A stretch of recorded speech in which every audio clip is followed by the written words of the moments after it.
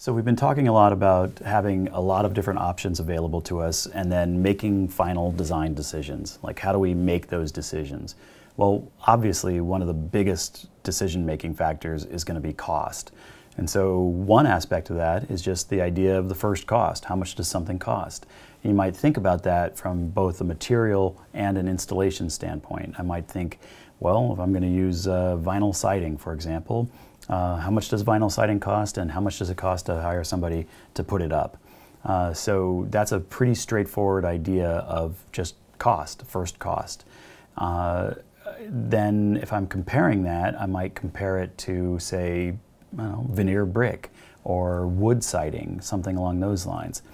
And I can then have a pretty clear understanding that the vinyl siding is probably significantly cheaper than the wood siding uh, which is probably a little bit cheaper than the uh, veneer brick.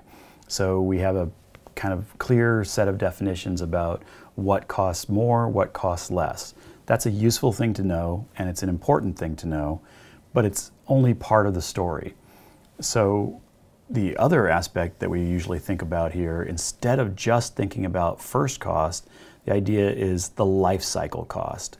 And that's that uh, clear understanding that uh, knowing what something costs just in going to the store and buying it or having somebody uh, buy some material and then put it up, that's only part of the story. So in that example of the first cost of the uh, vinyl siding being cheaper than say the wood siding or the veneer brick, well if we're thinking about it in combination of first cost plus the maintenance cost plus the replacement cost, plus all the energy that gets used. Uh, and we have a sort of timeline understanding that is longer than, say, five or 10 years.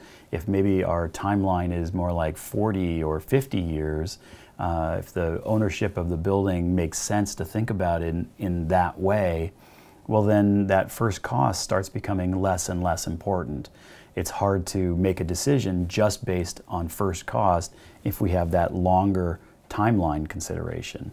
So in that scenario, we start imagining the first cost of the uh, of the vinyl siding. Well, it was much much lower, but maybe we had to replace it three times.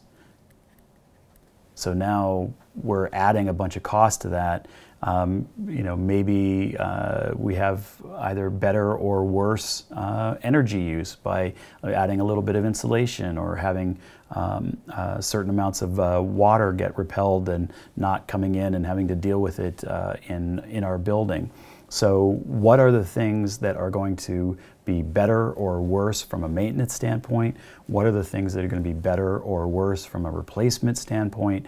Uh, where is the energy going? What, uh, what are all the different pieces that we have to add together in order to understand what a life cycle cost uh, number is so that when we're comparing that vinyl siding to the wood siding, we're comparing more realistically, and it may well be that the cheaper vinyl siding, if we look at it over a span of 30 or 40 years, may actually be more expensive. It may make more sense to spend more money up front to have a better quality material that will then last a longer time as long as we maintain it right, uh, as long as we build in the cost of maintenance in that comparison and we can then understand is this the right choice?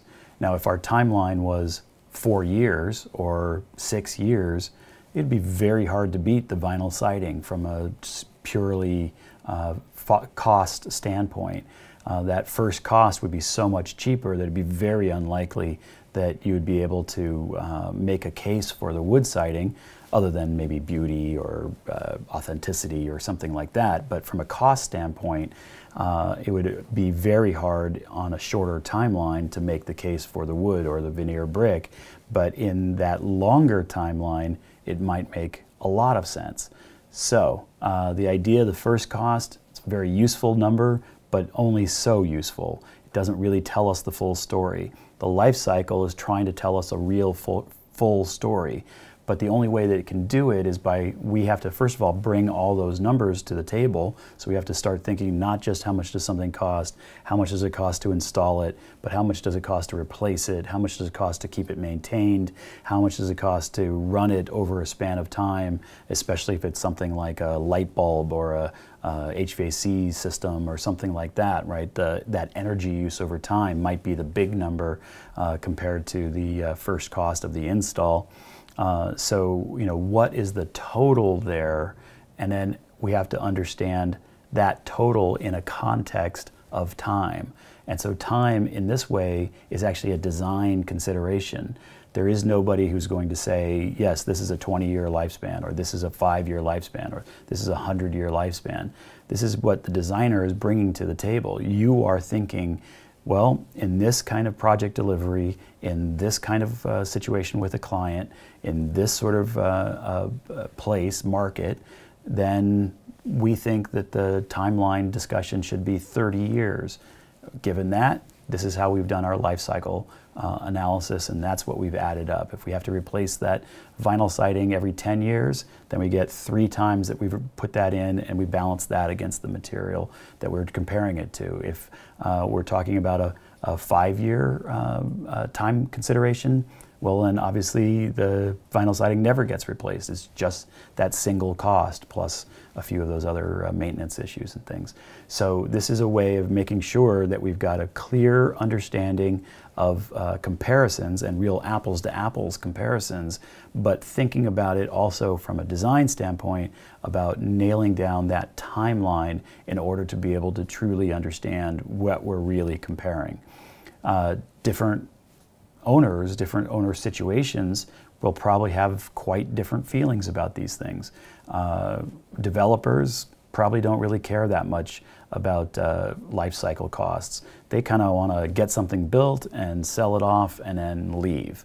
Uh, people who have long-term plans about something, high schools, uh, universities, town libraries. Like the intent when you build a, a, high school or a library or your university building, the intent is to have that be there for a pretty long time. You're, you're not really building with a five year, 10 year timeline on it. You're thinking in this sort of much longer span of ownership. Right? So in those situations, that life cycle cost is going to be by far the most uh, important way to start comparing these things. So when we are trying to make these decisions, uh, the key understanding about uh, what's making it into that final set of plans is going to be a cost understanding. We're going to have to like does does it make sense from an economic standpoint to use whatever it is we're talking about, uh, and so we're trying to do that comparison, which is the best one for the situation.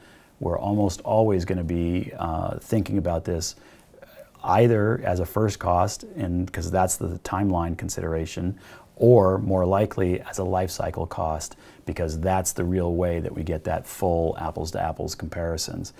Uh, it's hard to know exactly what kind of question it will be, but you will absolutely get questions on uh, first cost versus life cycle cost.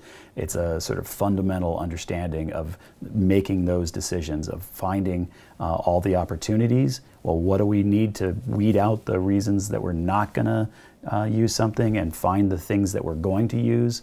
Well, cost is going to be one of them. And the only way to really think about that is in this apples to apples way through the life cycle costs.